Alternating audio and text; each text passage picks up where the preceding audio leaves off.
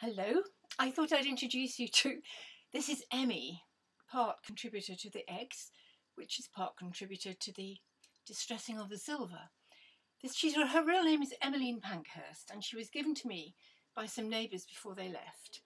And she'd already, I don't know if you can see, because she's got a very bad eye here. Oh, poor Emmy.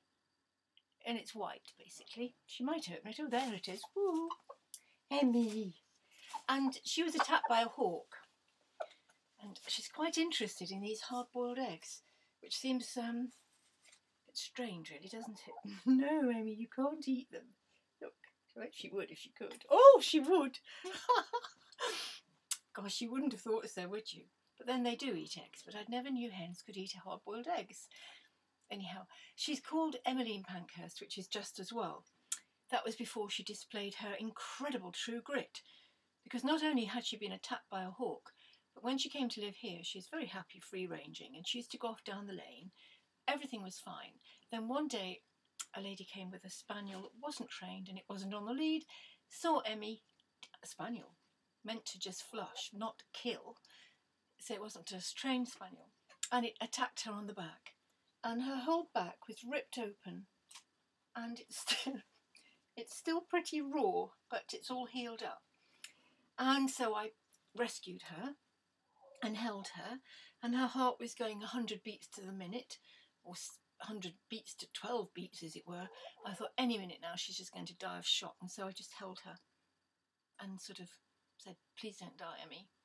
And um, we took her to the vet, and there was a very nice lady vet there, and she looked at her, and I thought, This is really silly, isn't it? Bringing a hen to the vet, thinking, I eat chicken, this isn't right. Anyhow, they cleaned her up, took all the bits of dirt out and removed the dead feathers, and then they saw the skin was just enough to kind of pull it over and stitch it together, leaving a few gaps that became scar tissue.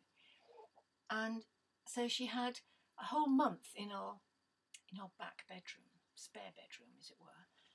I put lots and lots of um, puppy pads all over the floor, and she had a little box.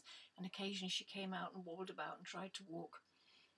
And she's better. I mean, that was in February or March, and now we're into August, September. But she used to be head of the pecking order. And when I put her back into with the other hens, they'd forgotten her. And we had a couple of new ones as well by then. There's five altogether, including Emmy. And she'd just grown new feathers on her back, and they attacked her and literally pecked out her feathers. So I brought her back into the into this place, into the shed, for a month, and looked after her. And then we put her back. Only this time I bought her a little separate coop, which I put into the big hen pen, and fed them along the side. So they thought they were sharing food, but really there was wire netting in between them. And bit by bit they got used to each other. And you've become very, very affectionate, haven't you, darling? Yes, yes. And um, and now she's head of the pecking order again. So although she's she is a real true survivor, but she's head of the pecking order. Hi, I'll just finish this, okay? Anyhow, I'm going to stop now and pop her back, okay? Bye.